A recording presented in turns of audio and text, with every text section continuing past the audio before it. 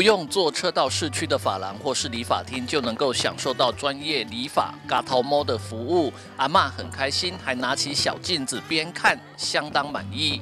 什么方便？较近啊，阮遮拢免坐车坐啊。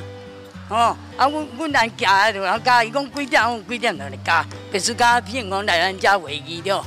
嗯，啊，然后看你你们服务很好，我这么想说，你看哪时候要再来剪，哦，我就不要出去外面剪，我先看他剪，剪到可以不可以？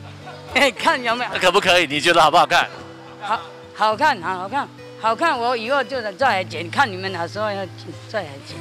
原本住在七都马西和马南里山区一带的长辈们，平常要剪头发就不太容易，而受到疫情的影响，想要修剪头发就更加困难。当地马西以及马南里长特地向基隆市达摩爱心会执行长曾怡芳请求协助帮忙。我们里内的长者，有些是行动不便，有些是因为疫情太严峻哈，然后也不方便出去外面剪头发，因为有的人是没有打疫苗的哈啊，所以说。他建议说：“哎，是不是我们来那个有没有人可以来里面帮我们做个意见？刚好我们那个莎莎执行长哈，他刚好有这个机缘，请我们那个重友哈，我们的陈主任好来这边做一个那个爱心义剪活动。然后我我是想说，这次因为义剪活动，大家也很踊跃来参与，好啊，希望说。”如果有机会的话，哈，我们一年可以办个一次两次都 OK，好，啊也谢谢我们执行长。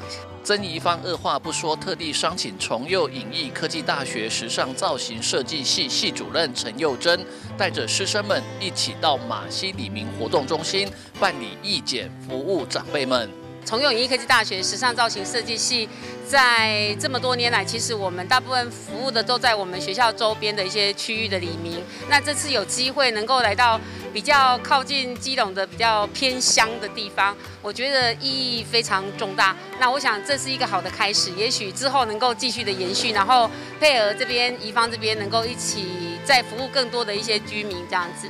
因为最近也因为疫情的影响，所以他们要下山去剪头发，其实是非常的不方便以及害怕。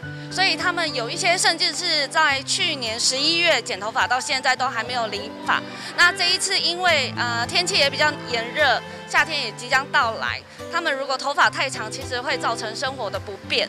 所以这次非常感谢我们重佑影音科技大学时尚造型设计系的系主任陈佑珍系主任。陈佑珍老师、系主任带领我们的学生、老师来到我们现场，来为大家做爱心义节的活动。除了理法服务，曾怡芳也致赠长辈们口罩，提醒长辈要戴好口罩，持续注意防疫，也让长辈们就甘心。记者吴俊松基隆报道。